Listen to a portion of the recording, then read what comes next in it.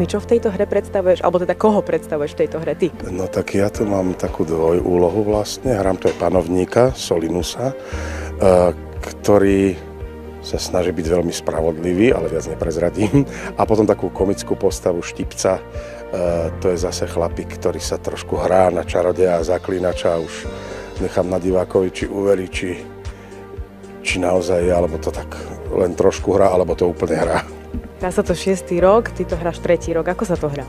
No, veľmi fajn, pretože samozrejme jednak genius loci, čiže tento hrad e, má úžasnú atmosféru, to je prvá vec.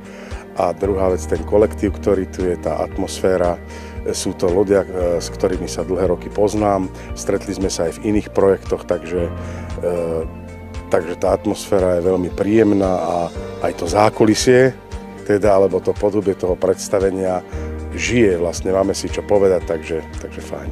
Musím povedať, že krásny outfit. Ďakujem. No máme teraz e, za sebou jeden úspešný film, Invalid. Uh, aké to bolo? natáčať tento film a teraz, keď má taký úspech? No tak e, ja som strašne rád, že vlastne, že rozprávame o tomto a aj o invalidovi, pretože to je dôkaz toho, že tá práca je rozmanitá. Ak má herec prácu, ponuky a má sa kde realizovať, tak je to úžasné.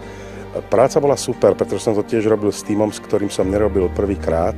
Vlastne my sme spolu robili amnestie, gro toho týmu, veľké gro toho týmu. No a bolo to fajn veľmi v tom, že E, jednak bol na to čas, potrpeli si, na, aby, sa, aby sa to teda pripravilo, čiže tá príprava bola, bola dlhá a poctivá, to je jedna vec. A druhá vec, také špecifikum, že sa to natáčalo a pripravovalo počas korony. To znamená, že v časoch, keď tej práce nebolo až toľko, keď bolo vo vzduši veľa depresie, neistoty, tá perspektíva bola taká neistá. No a ja som práve v tomto čase vlastne dostal jednu ak sa to tak v našom žargone dá nazvať, jednu zo životných úloh a mal sa možnosť na nej pracovať, takže to vnímam ako takú odmenu z toho vesmíru, že to bolo super. Super. Máme tu leto, ty asi divadelné prázdniny nemáš, keďže ich tráviš tu, ale dovolenka nájde sa čas? Áno, chcel by som ísť potom, keď to skončí, tak eh, chcel by som ísť niekam k moru alebo možno aj tu na Slovensku, uvidím, čo sa podarí, ale chcem povedať, že e, nemôžem povedať, cez to leto síce prácu mám, ale není to také nadúpané, jak počas sezóny, takže, e, takže vlastne som úplne v pohode. Tak nachádzame sa na Shakespeareovských slávnostiach, máme tu komédiu Omilov, tak koho predstavujete? Tak e, ja predstavujem Zlatníka Angela a kolegyňa z blízkych Čech Pavla Vytázková predstavuje Violu, kuchařku, trošičku korpulentnější dámu a v druhé půlce jsem další postava a to je Abatyš. Je to tak? Je to je tak? tak? Pevne. Áno. Ako sa to hrá? Hrá sa na to výborne, hráme to od roku 2017.